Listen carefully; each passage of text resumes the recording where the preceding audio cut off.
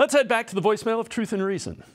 My name is Ronnie Petty, and I'm a big, huge Browns fan, born and raised in Cleveland. I think that we have a good team, but my concern is our linebackers. If we can, you know, strengthen that a little bit more, I think that we'll be able to make some noise this year in the NFL. Thank you.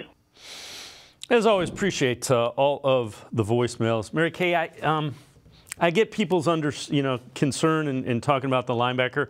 Um, I think it's an indication of two things. Linebackers kind of become the running back, which we were talking about last segment um, on the defense. And I think they're going to play a lot of three safeties. They're going to play some five down linemen. A lot of times there's going to be two linebackers on the field. Your thoughts? I, you know, I think it's going to depend.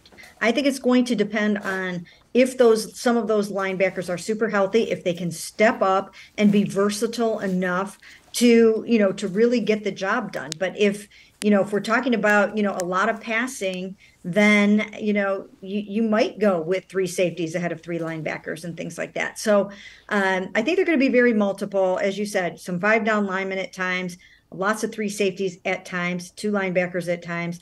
Uh, but you know, occasionally you might have Ogbo kind of playing linebacker, or you might have Juan Thornhill or Grant Delpit sort of playing a linebacker role. So versatility is going to be the name of the game. I think you will see lots of different formations defensively. Uh, I think you'll see lots of rotating to keep guys fresh and you know just hopefully in the beginning it will be simple enough for everyone that they can pick it up and they can understand the new terminology and what uh, J- jim schwartz is trying to do uh, without them kind of confusing themselves